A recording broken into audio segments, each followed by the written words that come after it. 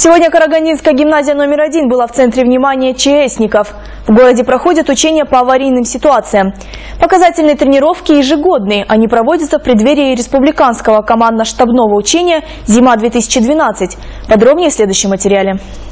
В гимназии номер один Казабекбийского района прошли показательные тренировки для представителей образовательных учреждений, организаций здравоохранения, коммунальных структур. Мероприятия по ознакомлению населения инструктажу действий при экстремальных ситуациях проводятся ежегодно. В этом году э, под руководством Министерства ПЧС Республики Казахстан в период с 7 по 8 ноября будет проводиться республиканское командно-штабное учение «Зима-2012».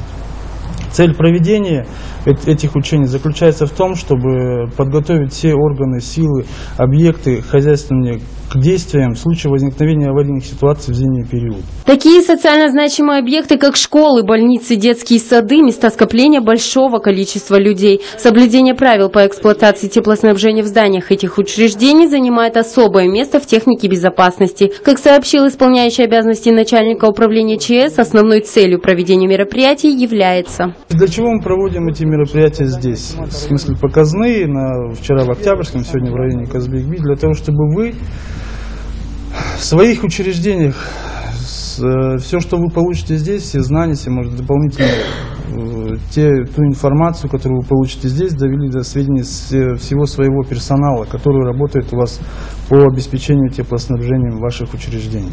Перед проведением наглядной тренировки на базе гимназии номер один для представителей различных учреждений района был проведен ознакомительный инструктаж действий при аварийных ситуациях в зимний период. Если возникает крупная какая-либо авария, там, предположим, на ТЭЦ, для того, чтобы не осталось системы воды, чтобы она не замерзла, там, э, дается команда, дается распоряжение Акима города о сбросе теплоносителя со всего жилого фонда.